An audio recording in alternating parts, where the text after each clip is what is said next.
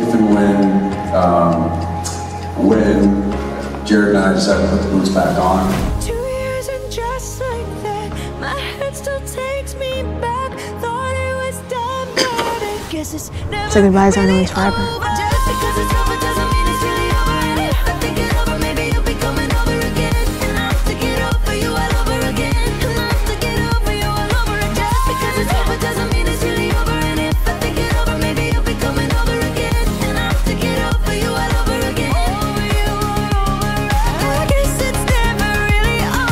I don't know that we're ever going to have uh, the experience like we had uh, on that show, but that's why the great thing about it is we can always go back to it.